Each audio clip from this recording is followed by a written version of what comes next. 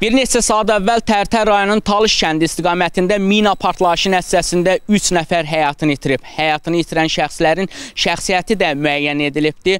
Bunlar Saxavət Gözəlov, Nadir Yusufov və Fərid Səidov olduğu bildirilir. Qeyd edim ki, həmin şəxslər ərazidə mina axtarışları həyata keçirilmişlər. Aldığımız məlumata görə həyatını itirən 3 nəfər dron vasitəsilə minaların yerini müəyyən etmək üçün çəkilişlər aparılmışlar. Həmən şəxslərin avtomobillə tank əleyhinə minaya düşdüyü bildirilir.